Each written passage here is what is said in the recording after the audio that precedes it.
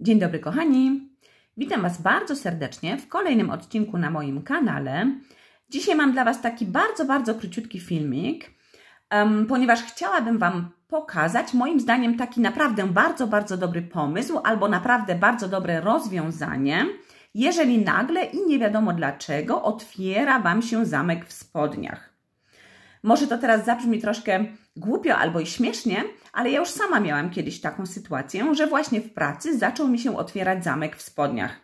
Ja ten zamek zasunęłam, on się otworzył, ja go znowu zasunęłam, on się znowu otworzył, aż w końcu mnie to zdenerwowało i zajrzałam do internetu i znalazłam rozwiązanie. Już Wam pokazuję, co to jest za rozwiązanie. My potrzebujemy do tego takie kółeczko, takie kółeczko mamy zazwyczaj przy kluczach albo przy breloczku. I to kółeczko zakładamy sobie tutaj na suwak.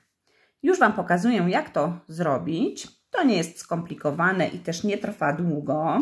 Zakładamy to kółeczko tutaj.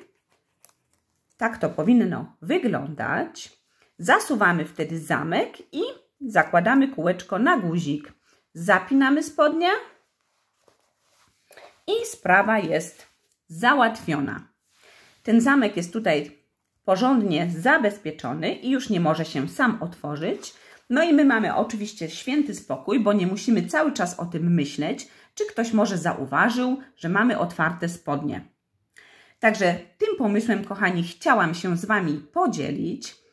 Um, może pomogłam komuś z Was, a może i nie, może znacie już ten pomysł sami, ale jak już powiedziałam, chciałam się właśnie tym pomysłem z Wami podzielić. Dziękuję Wam za oglądanie, pozdrawiam Was bardzo serdecznie i zapraszam Was oczywiście na kolejne odcinki. Pa, pa kochani, do zobaczenia!